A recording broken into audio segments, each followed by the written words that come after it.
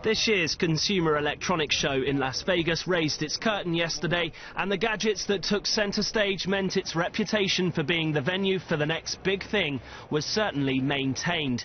On the opening day, tech giant Samsung helped audiences to see the bigger picture with a curved 105-inch TV.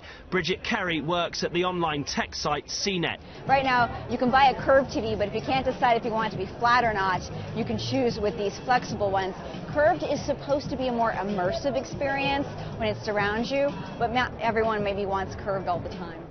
Wearable devices are also among the hot items at this year's CES, with chipmaker Intel and other technology companies betting that movement sensing devices and connected clothing will catch on with consumers. The timing also seems right for the smartwatch, with a number of models like Samsung's Galaxy making a name for themselves. The whole idea is that you can just glance at your wrist to be able to say, oh, I got a missed call coming in, let me go grab my phone, or maybe you don't have to grab your phone at all.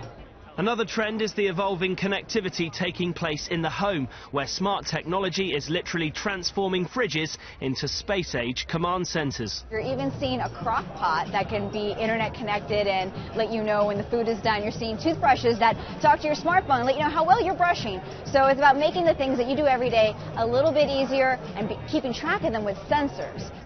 Ford C-Max Solar Energi concept car drew a crowd too. The car maker's hoping to go off the grid by harnessing the power of the sun through rooftop solar panels and a large magnifying shield. Dan McCready works for the company as an engineer. We can even take the car and just take it off the grid entirely so that you can power on this C-Max Energi the entire lithium-ion battery by pure free sunlight over the course of a, of a day. The 2014 Consumer Electronics Show, the world's largest, is expected to draw 150,000 visitors during its four-day stay.